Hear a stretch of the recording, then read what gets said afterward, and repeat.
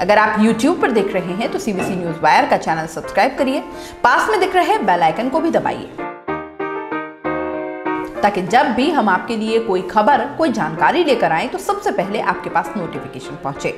अगर आप फेसबुक पर देख रहे हैं तो सीबीसी वायर का पेज लाइक करिए। अगर आप इंस्टाग्राम पर देख रहे हैं तो आप हमें फॉलो कर सकते हैं।